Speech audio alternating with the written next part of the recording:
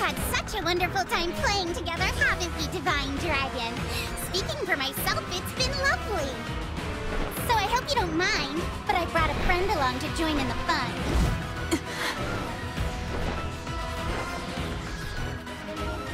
That's an emblem. But how? How is she here without my summoning her? Look at your face! You silly divine dragon. Did you think emblems were just a shot. Yeah, it's a pretty cool trick, huh? I'm so glad I'm able to use it. And it's all thanks to Lord Sombron powering up this ring. It's called the Ring of the Princess Exile. Am I right? That's one of the rings my mother was protecting. Give it back! Yeah, not gonna happen.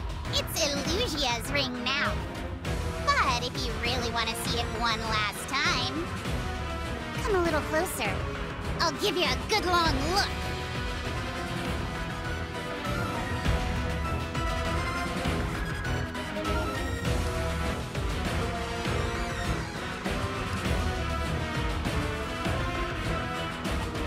That emblem is a formidable foe.